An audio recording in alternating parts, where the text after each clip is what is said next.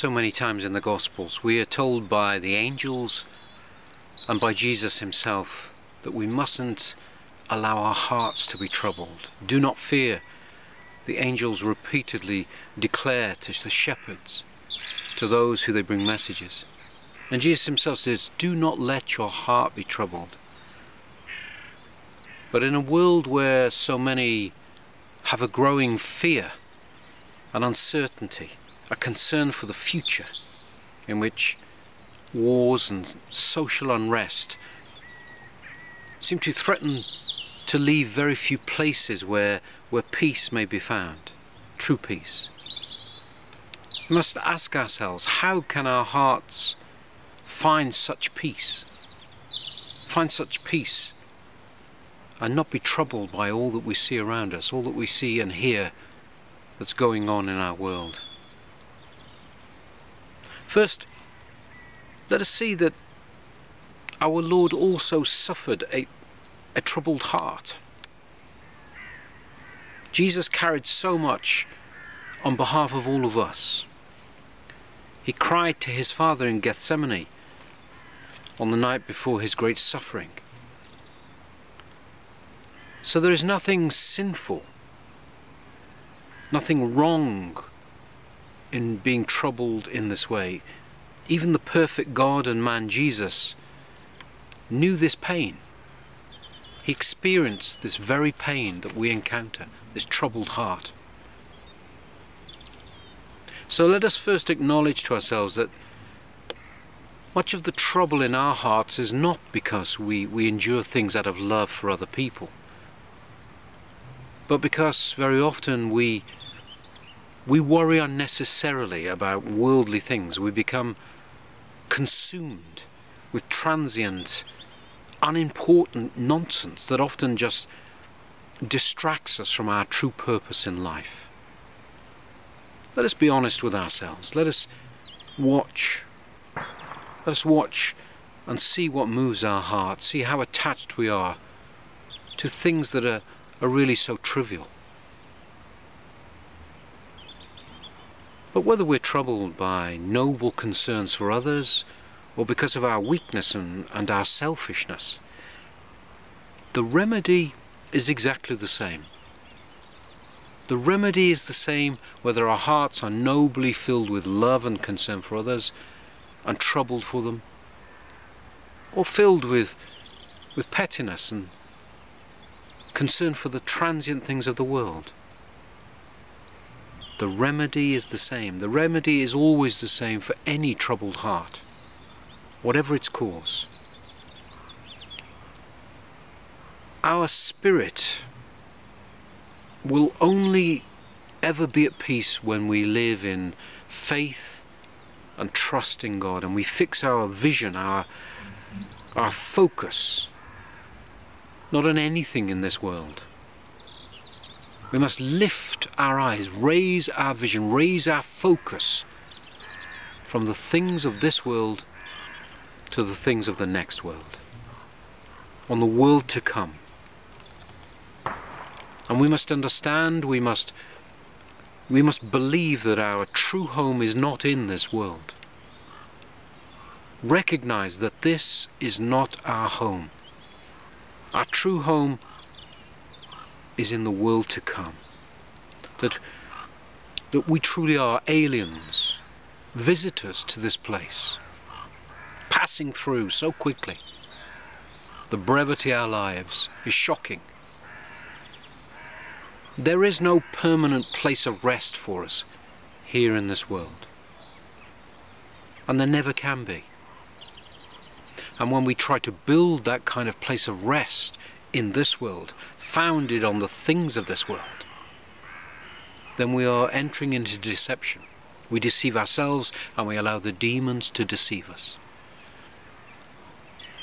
We must we must know and we must trust and believe that Jesus, as he said he would, has prepared a place, a place where he will receive those who enter his kingdom.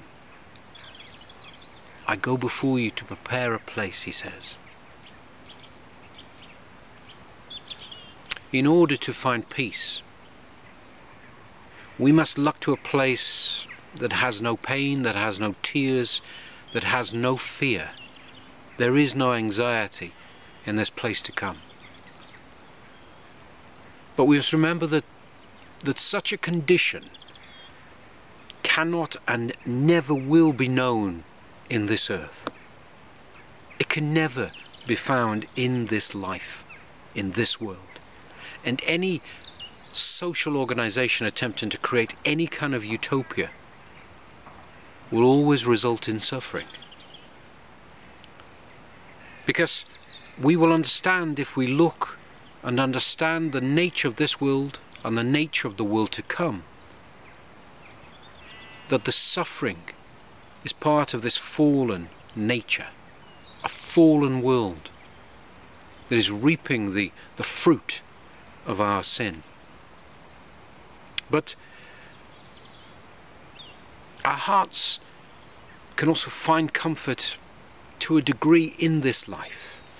Yes, there is a degree of peace in trusting and believing in that world to come, and we must hold on to it.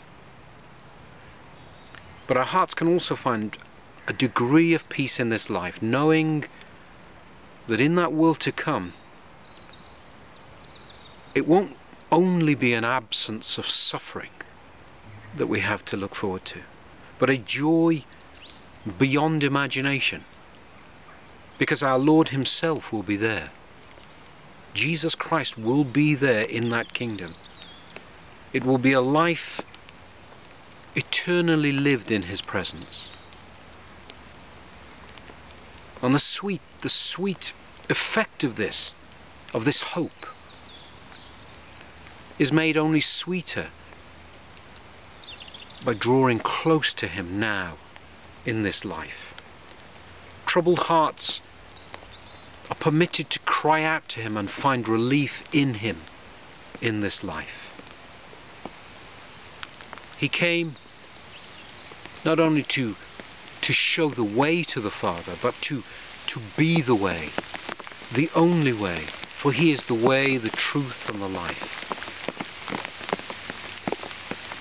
The greater we struggle to follow His His commands, struggle to repent, struggle to forgive, struggle to love, the deeper we are permitted to enter His presence the deeper we draw closer to Him.